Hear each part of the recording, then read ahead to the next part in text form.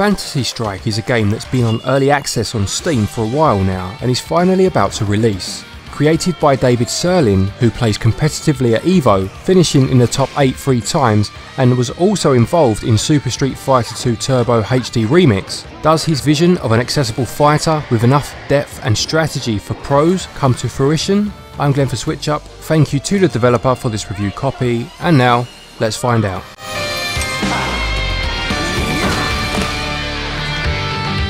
In terms of the established rules of fighting games, Fantasy Strike mixes things up a little bit. You have a health bar, and depleting your opponent's bar will end in a victory for that round, but the health bar itself is a little different. It's separated into chunks, with most characters having 6 chunks, although there are some that have as few as 5, and some have as many as 8.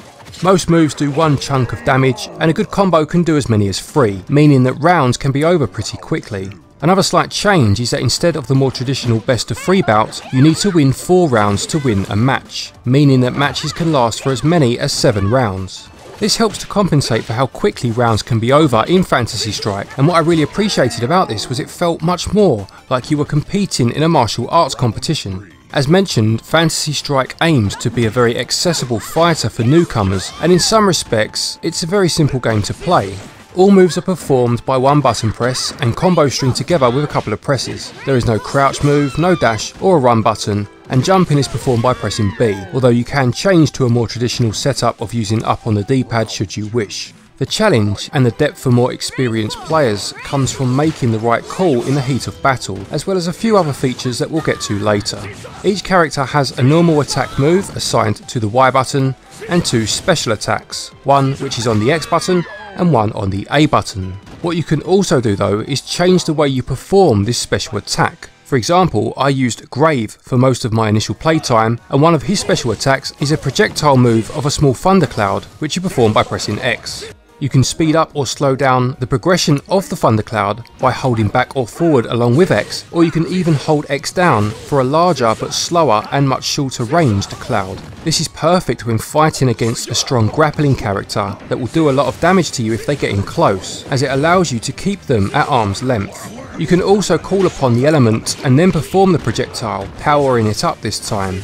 The game is simple to play in that you will never be scrabbling around trying to remember how to perform a special move, with a deluge of back forward kick or quarter circle punch commands flashing through your mind, but the challenge lies in knowing when and how to execute all of these simple moves, and that's where the game really excels. Looking at this further, you have a super move, used by pressing L, which can be performed when your super meter is full, and a throw which is used by pressing R. Again though, as simple as these sound, there is a lot more depth to it. For example, attempt to throw a character whilst they are moving and you will be successful. However, attempt to throw them whilst they're standing still, and they will perform what's called a Yomi counter move against you, causing you damage. If I go back to my example of fighting against a grappler from earlier, if they do manage to get through your defences, sometimes the best thing to do is nothing at all, as they may attempt to throw you, giving you a chance to counter. Blocking is another example. Block a move from your opponent and one chunk of your life bar will flash. Block a second move within a few seconds and it will flash faster. Block for a third time and you will lose that chunk of health. So blocking is simple, knowing when to block and when to attempt to fight your way out is the more difficult part. It's been said about many fighters over the years, but rarely has it rung as true as it does in Fantasy Strike, button mashing will get you nowhere. What I love most about Fantasy Strike though, is that it wants you to be good at it. In fact, it tries its best to teach you how to be good. I don't just mean by way of a tutorial or a practice mode, although it does have both of these features. I'm talking about the character videos and the frame advantage feature.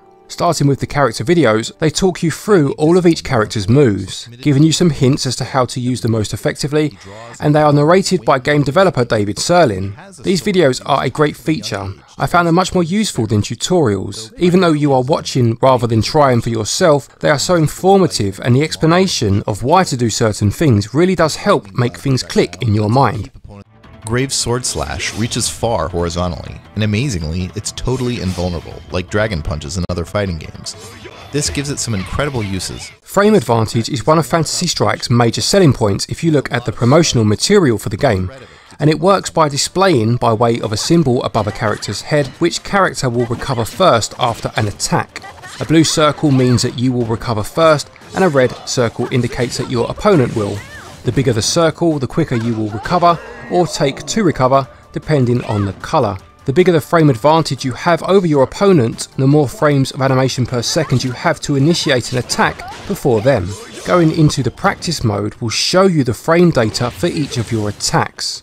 It really is quite amazing how the two ends of the scale have been catered for in terms of simplified controls for newcomers and frame data for experienced players. In terms of gameplay modes, you have a classic arcade ladder, complete with an ending to unlock for each character, the ladder does only consist of 6 of the 10 characters each time, and it would have been nice to have the option to fight the full 10 characters too, similar to how Mortal Kombat handles its arcade modes. There is a daily challenge mode which sees you attempting to clear as many enemies before you are defeated, a survival mode which works in a similar way, and a boss rush mode. There are also options to play team battles in local multiplayer, as well as the more traditional 1v1. Online play is available too, you will need to set up an account first, which just consists of a username and an email address, and you will then have access to casual play, ranked 3 vs 3, or friend matches. Online was very smooth with no lag at all. The footage you are watching here I actually recorded while playing in handheld mode sitting in my garden, and there were no interruptions at all. Oh, and yes, I did come back from 3 rounds down to win 4-3 with a perfect in the final round.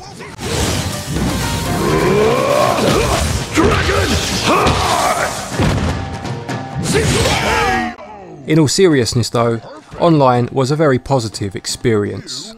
Gameplay receives 19 out of 20, whilst the controls also receive 19 out of 20. The character designs are all very different, all with a fantasy twist in some way. You have characters that can control the elements, control time, or use a magic paintbrush, and all of these traits are portrayed visually through the artwork. Some are more memorable than others, but to be fair, they all have enough personality about them to stand out and to make you want to try them all. The character models themselves use almost a hand-drawn style, and if I could sum it up in one word, it would be vibrant. The characters use a multitude of colours and a variety of backgrounds, use a very interesting mix of settings. The game's art reminded me quite a bit of the art style from Street Fighter 4, and according to developer David Sirlin, there is a link between the series when it comes to art. In an interview, the link to which I'll put down in the description, he stated that the characters' looks are all based on their first ever appearance before this game was in development, which was in a card battling game called Yomi, also created by Sirlin, with art done by Udon Entertainment, who themselves have created art for Capcom's Street Fighter series in the past. Udon Entertainment also provided the artwork for the cutscenes that you'll find in this game's arcade mode. All characters have voice acting, which consists of a line of pre and post fight dialogue, as well as battle cries mid match. These are okay, a little bit cheesy at times, and they do not quite match the standard of the art, at least in my opinion. All cutscenes are fully voiced in arcade mode, as well as the character videos being narrated as mentioned earlier. The music is generally appropriate for the mood of the stage, with an oriental theme being most prominent throughout. Visuals receive 18 out of 20, whilst the audio receives 16 out of 20. Fantasy Strike costs £28.99, $29.99 or €32.99 and for this price you are getting a game that's accessible but with that extra depth needed to give a fighting game some legs. With an arcade mode, daily challenges and a few other modes, as well as both local and online multiplayer, there's certainly a fair bit to do. Although a character roster of 10 is a little bit small, the production values certainly do warrant the price. There is no word of a physical copy of this game as of this time, and value gets 16 out of 20. To conclude, Fantasy Strike is a fantastic fighting game that has something to offer to just about everyone.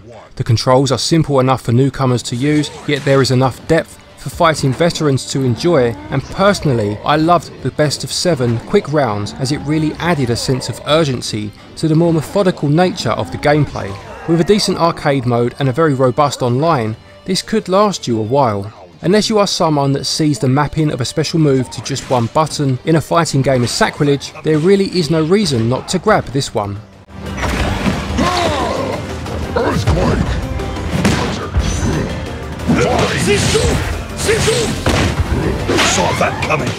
Fantasy Strike gets a switch up score of 88%. Many thanks as always everybody for watching. Please do remember to leave a like if you like what you've just seen. We really do have some fantastic fighting games on the Switch now and I think a top 10 fighting games video is certainly in order in the near future. A quick thank you as always to our Patreons for your continued support and to each and every one of you for watching our videos. We've just hit that 40,000 mark, which is absolutely fantastic. And reading the positive comments left on our community page the other day when we did hit that landmark was truly humbling. So thank you very much to everyone that commented on there. Anyway, take care, and until next time, happy gaming.